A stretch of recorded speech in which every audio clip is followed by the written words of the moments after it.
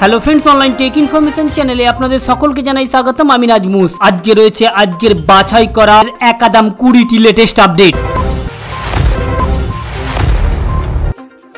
প্রথমেই রয়েছে আজকের আবারও একটি বড় খবর। একদিকে যখন একের পর এক ফাঁস হচ্ছে দুর্নীতির কর্মকাণ্ড, নেতা থেকে শুরু করে মন্ত্রী পর্যন্ত গ্রেপ্তার হচ্ছে, ঠিক এই সময়তেই আবারও উদ্ধার কোটি কোটি টাকা শুধু টাকায় নয়, সোনার হিরে গহনা সহ একাধিক জিনিস উদ্ধার করা হয়েছে, ফের বড় জালিয়াতির যোগ। দেখে নেব এবারে কোথায় থেকে এত টাকা উদ্ধার হলো বা সোনার গহনা উদ্ধার হলো। এর সাথে আবারও কে নেতা মন্ত্রী যোগ রয়েছে বা সিবিআই ইডির পরবর্তী টার্গেটে কে রয়েছে? ঘূর্ণিঝড়ে পূর্বাভাস একাদাম উড়িয়ে দেওয়া গেল না। অবশেষে আবহাওয়া দপ্তরের তরফ থেকে ফের বড় পূর্বাভাস সাগরে গভীর নিম্নচাপের আশঙ্কা, কালী পুজোতেও দেখে নেব কোথায় কোথায় বৃষ্টির সম্ভাবনা বা ঘূর্ণিঝড় সম্পর্কে কি বলছে আবহাওয়া দপ্তর। অন্যদিকে রয়েছে আরও একটি দারুণ খবর, বড় সুখবর, একদিকে যখন শুভেন্দু অধিকারী বারবার কেন্দ্রকে চিঠি পাঠাচ্ছে যে রাজ্যের কেন্দ্রের প্রকল্পের নামগুলি বদলে রাজ্য সরকার নিজের নামে চালাচ্ছে, ঠিক এই সময়তেই রয়েছে সেই সকল মানুষ যাদের ঘরের প্রয়োজন রয়েছে। বাংলার তেমন চল্লিশ লক্ষ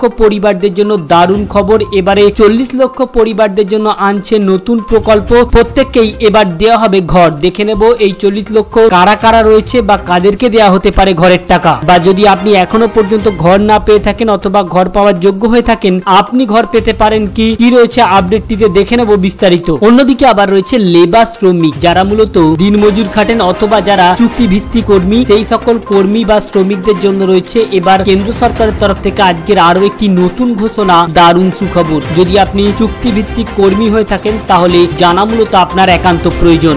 সেগুলি আলোচনা করার পূর্বে আপনাদের কাছে একটা রিকোয়েস্ট আপনি যদি আমাদের চ্যানেলে নতুন হয়ে থাকেন, তো চ্যানেল কিংবা ভিডিও নিচে দেখুন একটা রেড কালার সাবস্ক্রাইব বাটন রয়েছে। এখানে প্রেস করে সাবস্ক্রাইব করবেন এবং পাশের এই ছোট মতো বেল আইকনটিকেও বাজিয়ে দিয়ে ভিডিওটিতে একটা লাইক আর বেশি বেশি পরিমাণে শেয়ার করবেন, কারণ আপনাদের একটা লাইক আর শেয়ারই আমাদের উৎসাহিত করবে প্রতিদিনই লেটেস্ট আপডেটগুলো এভাবেই আপনাদের সামনে উপস্থাপন করার জন্য। প্রথমেই রয়েছে আজকের সব থেকে বড় খবর। দিকে দিকে যখন দুর্নীতি ফাঁস হচ্ছে, গ্রেপ্তার হচ্ছে নেতা মন্ত্রীরা ঠিক এই সময়তেই যেন টাকার পাহাড় উঠছে টাকা রাজ্য জুড়ে। দুর্নীতির টাকা যা দেখলে আপনিও চমকে উঠবেন। কোটি ছাড়া কোনো গল্প নাই। এবারে ঠিক একই কাণ্ড। হাওড়ার গাড়ি থেকে উদ্ধার কোটি কোটি টাকা। সোনার হিরে গহনা বড় জালিয়াতির যোগ। হাওড়া শিবপুর থেকে উদ্ধার বিপুল পরিমাণে টাকা গহনা। প্রচুর টাকার অনলাইন লেনদেন দেখেই সন্দেহ রাষ্ট্রায়ত্ত ব্যাংক কর্তৃপক্ষর। হেয়ার স্ট্রিট থানার দায়ের হয় অভিযোগ। তদন্ত নেমে পুলিশের হাতে উঠে এলো এক চাঞ্চল্যকর তথ্য। জালিয়াতি তদন্ত নেমেই মিলল বিপুল টাকার পরিমাণ গহনার হদিস হাওড়ার একটি অভিজাত অবসানের গাড়ি থেকেই উদ্ধার দু কোটি কুড়ি লক্ষ পঞ্চাশ হাজার টাকা। উদ্ধার হয়েছে সোনার উপ হীরের বহু মূল্যবান গহনাও। আনুমানিক মূল্য কয়েক লক্ষ টাকা। এই গাড়ির মালিকের নাম অরবিন্দ পান্ডে তার ভাই শৈলেশ পান্ডে এই প্রতারণা মামলায় মূল অভিযুক্ত শৈলেশ পান্ডে ইতিমধ্যে ফেরার। কিন্তু তার ভাইয়ের গাড়ি থেকে বিপুল পরিমাণ নগদ টাকা ও হীরের গহনা উদ্ধার হয়েছে,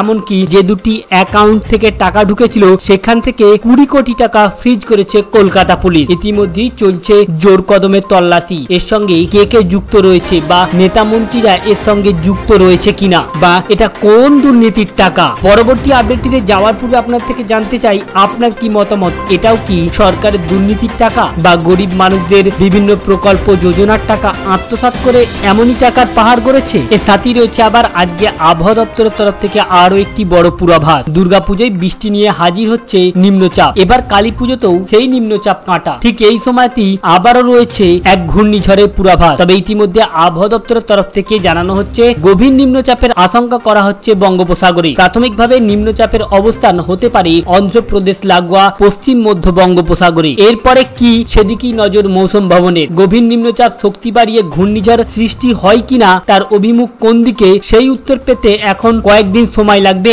এমনই বলছেন আবহাওয়াবিদরা। ইতিমধ্যেই উত্তরবঙ্গ থেকে বিদায় নিয়েছে বর্ষা। আগামী দুদিন বাকি বাংলা থেকেও বর্ষা বিদায় নেওয়ার সম্ভাবনা। তবে অন্যদিকে আবহাওয়া দপ্তর আবারও জানাচ্ছে, আগামী আঠেরোই অক্টোবর আরও একটি ঘূর্ণাবর্ত তৈরি হওয়ার সম্ভাবনা রয়েছে উত্তর আন্দামান সাগর এবং নিকটবর্তী এলাকার দিন কয়েক ধরেই এই আন্দামান সাগরে তৈরি হওয়া ঘূর্ণাবর্ত নিয়ে সুপার সাইক্লোনের বার্তা দিয়েছিল বিদেশি এক আবহাওয়াবিদদের তরফ থেকে। যদিও সেই সুপার সাইক্লোন তৈরি হওয়ার সম্ভাবনা আশঙ্কার কথা উড়িয়ে দেওয়া হয়েছে। তবে আঠারো তারিখে একটি ঘূর্ণাবত্র তৈরি হতে চলেছে তা জানাচ্ছে মৌসুম ভবন। তবে এই ঘূর্ণাবত্র কতটা শক্তিশালী হবে তা নির্ভর করবে আগামী কয়েকদিন আন্দামান সাগরের আবহাওয়া কেমন থাকে তার উপর। এই ঘূর্ণাবত্রের উপর নজর রাখা হচ্ছে বলে জানাচ্ছে, এর ফলে উনিশে অক্টোবর পর থেকে বৃষ্টির সম্ভাবনা রয়েছে দক্ষিণবঙ্গে। এর সাথে রয়েছে গরিব, মধ্যবিত্ত, অসহায়, খেটে খাওয়া মানুষদের জন্য দারুণ খবর। এবারে কন্যাশ্রী সহ একাধিক সামাজিক সুরক্ষা প্রকল্প চালু করে দেশে পৃথক হয়েছেন মমতা বন্দ্যোপাধ্যায়ের বাংলা। এবার রাজ্যের নির্মাণ শ্রমিকদের মাথার উপরে ছাদের বন্দোবস্ত করতে উদ্যোগী হলো শ্রম দপ্তর। তাও আবার সম্পূর্ণ নিখরচায় অর্থাৎ ওই সকল পরিবার যাদের কাছে ঘর নাই, এবারে সম্পূর্ণ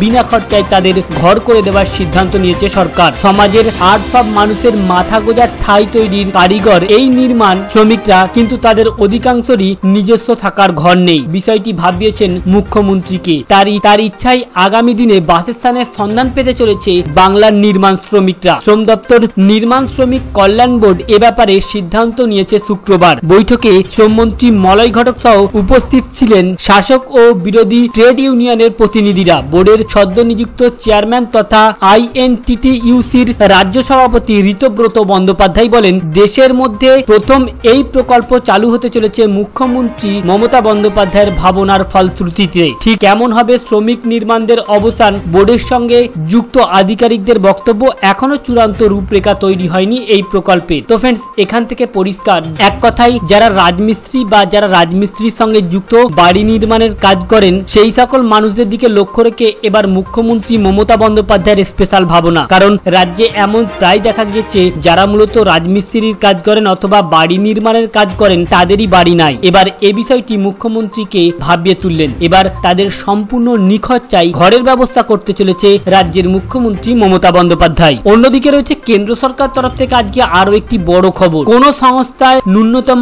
কুড়ি জন কর্মচারী থাকলে সেখানে পিএফ এর সুবিধা এবার বাধ্যতামূলক করা হলো। সেই নিয়ম মেনে অনেক ঠিকাদার সংস্থায় কর্মীদের পিএফ এর আওতায় এনেছে। আরও বেশি চুক্তিভিত্তিক কর্মীদের এই সুযোগ দিতে উদ্যোগী হলো এবার এমপ্লয়েজ প্রভিডেন্ট ফান্ড অর্গানাইজেশন বা ইপিএফও বিভিন্ন এলাকায় ক্যাম্প করে তারা বিষয়টি সচেতন বাড়ানোর কাজে হাত দিয়েছে। পশ্চিমবঙ্গ, সিকিম, আন্দামান, নিকোবর দায়িত্বপ্রাপ্ত অতিরিক্ত কেন্দ্রীয় পিএফ কমিশনার রাজীব ভট্টাচার্য বলেন, বিভিন্ন সরকারি দপ্তর, সংস্থা বা আধা সরকারি সংস্থার প্রচুর চুক্তিভিত্তিক শ্রমিক কাজ করেন। সেই কর্মীরা বাস্তবে কোনো ঠিকাদার সংস্থা হলেও তাদের নিয়োগ করা হয় যেহেতু সরকারের অধীনে প্রতিষ্ঠানগুলিতে। তাই আইন অনুযায়ী তারাই কর্মীদের প্রাথমিক কর্মদাতা হিসাবে বিবেচিত হয়। এমন কর্মীরা নিয়ম মাফিক পিএফ এর সুবিধা পাচ্ছে কিনা, তাদের বেতন কেটে নেওয়া টাকা ঠিকভাবে জমা পড়ছে কিনা, সেসব দেখার দায়িত্ব সরকারি সংস্থাগুলির। এই ধরনের প্রতিষ্ঠানগুলির অন্তর্গত কর্মীদের সামাজিক সুরক্ষার বিষয়টিতে জোর দিচ্ছে কেন্দ্র। বিশেষ করে জোর দেওয়া হচ্ছে চা বাগান, জুট মিল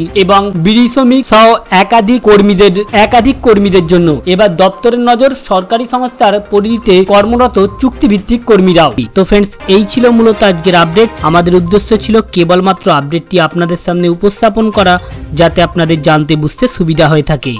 যদি ভালো লেগে থাকে, অতি অবশ্যই একটা লাইক করবেন। বেশি বেশি পরিমাণে শেয়ার করবেন।